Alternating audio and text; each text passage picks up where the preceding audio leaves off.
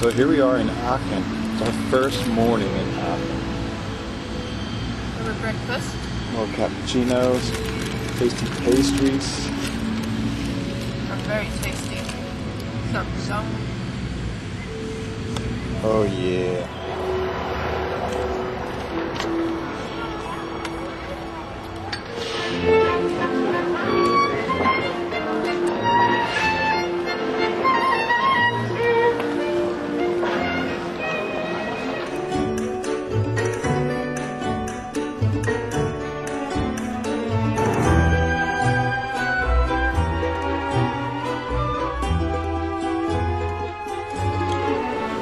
I'm gonna go there for some fried fish.